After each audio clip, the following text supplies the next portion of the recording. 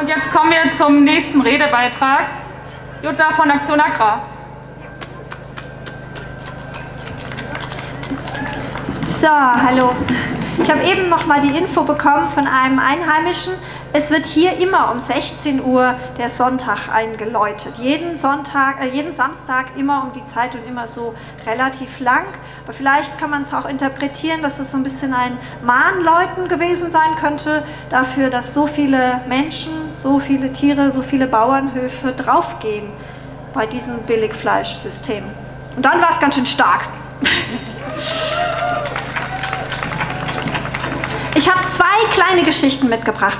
Die eine kleine Geschichte, ähm, für mich ist heute der achte Tag draußen auf der Straße. Wir sind letzte Woche losgefahren und wir waren unterwegs im Oldenburger Münsterland, um überall an den Hotspots der Tierindustrie auch kleine Zeichen zu setzen, auch Gespräche zu führen und ein bisschen zu erfahren, was hier in der Gegend passiert und auch wie Menschen sich wehren.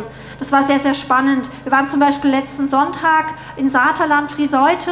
Da wird gerade die größte Biogasanlage Europas gebaut. Da ist eine riesige Baustelle schon, obwohl es noch keine Baugenehmigung gibt und obwohl dort viele Menschen Menschen dagegen streiten, ein Bürgerentscheid erfolgreich Nein gesagt hat zu einer Anlage, die bedeuten wird, dass die Tierindustrie in dieser Form über viele, viele Jahre weiter zementiert wird.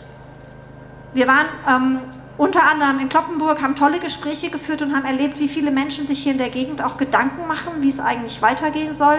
Wir waren am Dienstag in Emsteg, da ist mit ähm, dem riesigen Schweineschlachtkonzern Vion ein Unternehmen, was jede Woche, Woche für Woche 60.000 Schweine schlachtet und zerlegt und durch die Gegend transportiert. Lokale informierte Leute haben uns erzählt, im Augenblick haben die Engpässe und importieren Schweinehälften aus Spanien, um hier die ganzen Kapazitäten auszulasten. Und wir waren am Donnerstag ähm, in, äh, in Wisbeck-Rechterfeld Dort war im letzten Jahr die Aktion von GGT.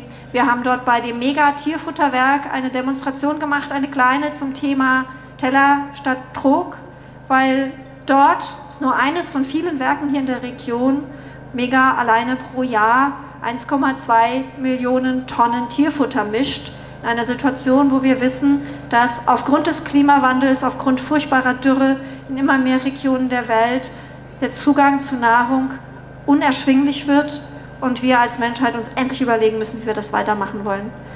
Für uns eine ganz intensive Woche mit vielen intensiven Begegnungen, Aktion Agrar und das Bündnis Wir haben es satt, waren zusammen unterwegs und genau, ähm, war für uns auch absichtlich eine Aktion vor eurem Camp und eurer Demo, um möglichst viel ins Gespräch zu bringen. Es gab auch viele Zeitungsberichterstattung und viel Wahrnehmung.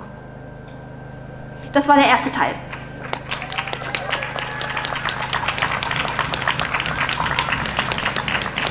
Und jetzt der zweite Teil der Geschichte. Wir haben schon, bevor wir losgefahren sind, recherchiert. Ich weiß, ihr habt das auch gemacht. Es gibt auch von GGT eine tolle Karte. Wir haben eine Karte gestaltet, ähm, die zeigt, wie die Fleischindustrie hier in der Region vernetzt ist, also Oldenburger Münsterland, die beiden Landkreise Fechter und Kloppenburg. Wir haben aufgetragen, wo welche gigantischen Fleischindustrie, vor- und nachgelagerte Industrie heißt es dann ja auch immer, was noch dazu kommt, wo die zu finden ist. Und die Karte verteilen wir seit einigen Monaten munter.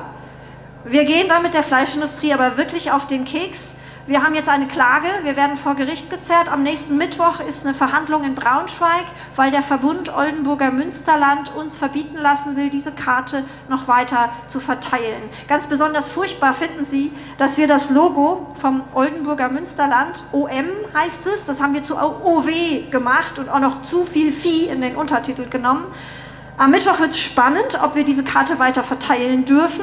Wir setzen darauf, dass Meinungsfreiheit vor Fleischindustrie gehen muss und wir freuen uns, wenn ihr das mitverfolgt und wir freuen uns, wenn ihr heute diese Karten auch noch in die Hände nehmt und weitergebt. Vielleicht dürfen wir sie ab Mittwoch nicht mehr verteilen. Ich hoffe aber, dass es damit weitergeht.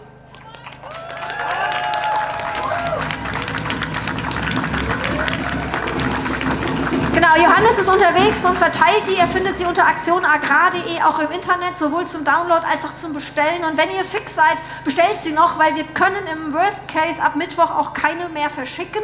Das heißt, jetzt oder nie oder wir gewinnen und dann können wir damit noch viel weiter arbeiten. Danke euch. Es ist cool, dass ihr alle da seid und cool, dass ihr demonstriert und am Ball bleibt.